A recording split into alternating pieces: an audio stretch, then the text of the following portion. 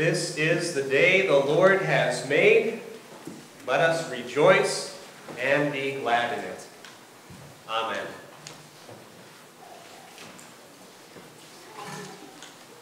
I've heard that the sense of smell can create very strong, memorable connections in the brain.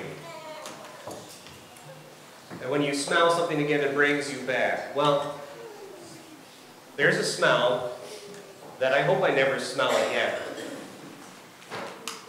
But if I did, it would bring me back to when I was about 10 years old.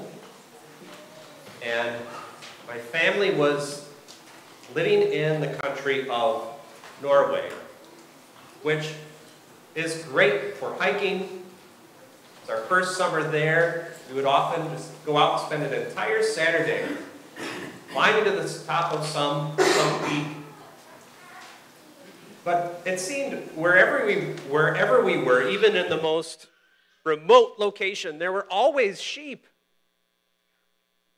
There must not be too many natural predators for sheep in Norway because they just seemed to roam freely wherever you were. So there I was, hiking along, and the breeze brought a terrible, terrible smell to my nostrils. And so, what would you do if you're a 10 year old boy? Well, you go see what it is. Maybe you don't. Maybe you're, yeah. But I went and I looked. What is this terrible smell? It smelled like rotting, just nastiness. And I peeked over this rock, and a little further down was an upside down sheep. There were flies, but it was still twitching. I didn't stick around. Turned around in horror because this half dead, half rotting sheep. It's just disgusting. Now, who of us would give his life for that sheep? Who of us would then climb down the rock, pick up this disgusting mass of flesh, put it on our shoulders, and go home rejoicing? This is what Jesus is talking about when he gives us the picture of the Good Shepherd. It's a picture that we treasure, of course, but realize this is not a flattering picture. I'm sure pastors have pointed this out to you before, just how foolish or disgusting sheep can be. But when Jesus gave his life for the sheep, there's, there's more to this picture than just the sheep part. And that's what you get in John chapter 10. Jesus was speaking to a group of people who were enemies of his sheep, and yet they were supposed to be his sheep. They were supposed to be those who knew about the Messiah's coming and would rejoice when he came, but they had turned aside. These Pharisees, these leaders of the church, who were angry with Jesus. In John chapter 10, it's because he's healed a blind man, and they're upset about it. Jesus' words about being the good shepherd for his sheep are spoken to his enemies. The truth is, we're not always the sheep in this picture.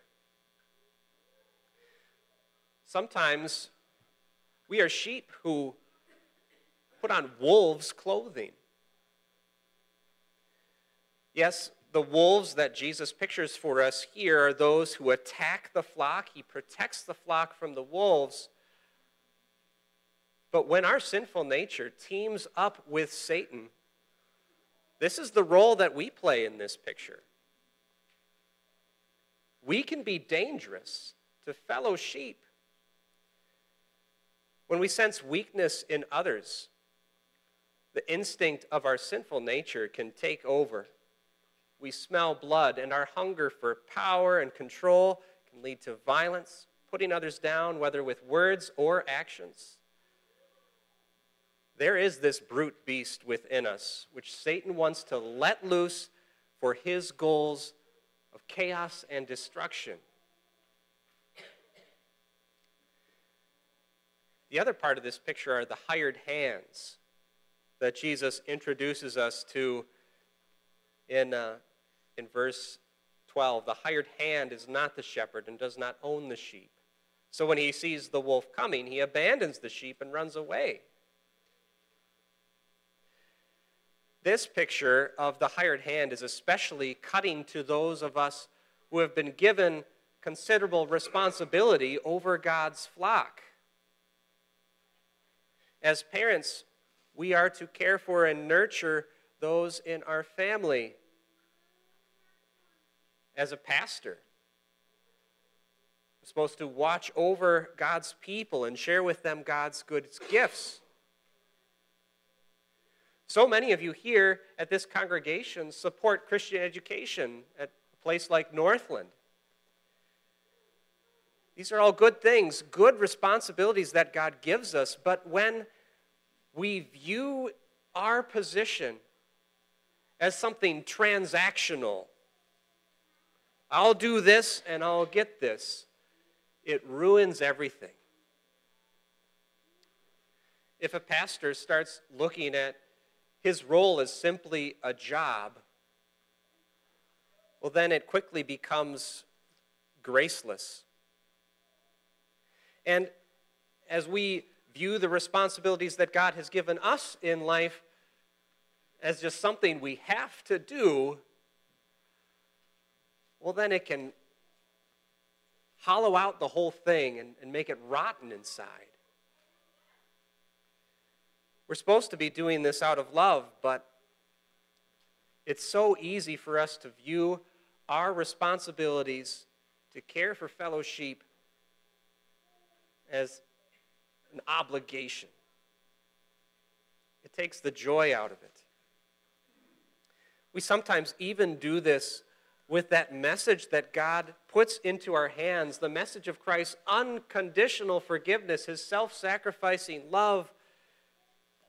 We treat it as something that people need to earn from us before we share it. In these ways, we've all been bad shepherds hired hands, living our Christian callings without courage, without grace, ruining the opportunities that God has given us. Jesus says that as the Good Shepherd, he knows us. He knows his sheep. And that can be a scary thought as we think about the ways that we've wandered or taken on the role of the wolf or the hired hand. He knows what we're really like. But as he describes this knowing, he reveals it's a different kind of knowing. He is not out to get us, to expose us for our sin. Instead, he likens it to how his Father knows him and he knows the Father.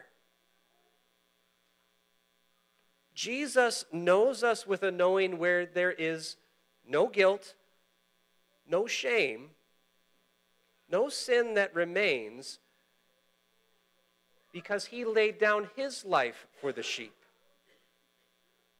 In this knowing that Jesus has established between us and himself, there is perfect love, unity, and fellowship.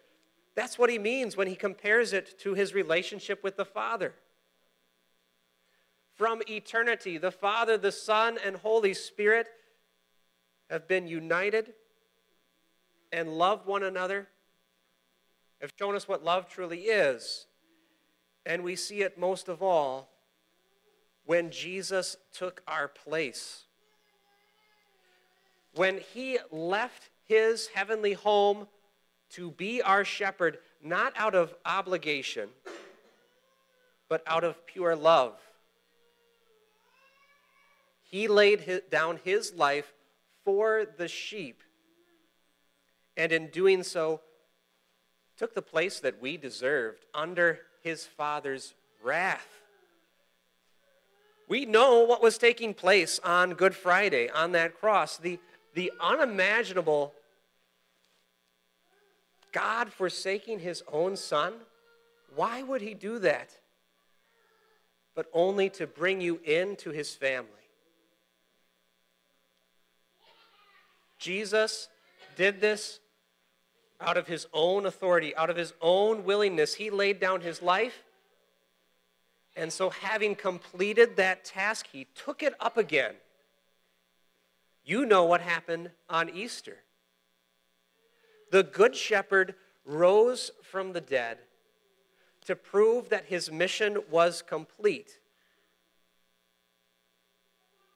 And so now, your relationship with your fellow sheep is no longer a transactional one. You don't have to earn anything by the things that you do. You live in grace under the love of God. You know your good shepherd knows you fully with all your faults and all your sinfulness, and yet loves you. And so you can set aside all your self interest, all your, your striving to prove yourself somehow to God or to others, and your life as one of his sheep is a life of freedom in whatever your calling in life, whether it's as a parent or a pastor or as a supporter of the work of the church, you can do so in joy and freedom. You have a fellowship with the good shepherd and your fellow and your fellow sheep of his flock that will never end. God has brought us the the sometimes sheep, the sometimes wolves, the sometimes hired hands into the fellowship of his family. And so it's good to be a sheep. That's now for you a badge of honor to be called a sheep. Although the world may look on you as lowly and, and weak, the life of a Christian, of simply following of our Good Shepherd, Total dependence on Him is a great place to be. You're dependent on, on, the one who is entirely dependable, whose promises to bring you to the streams of living water never fail. And so his life for you as a sheep now is one of service, where you rejoice to bring others to those waters which have refreshed you where you know true, true hope and eternal life are free. Your good shepherd has given his life for the sheep.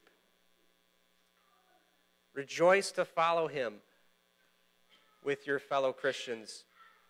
This is the life he's prepared for you and promises you for eternity. Amen.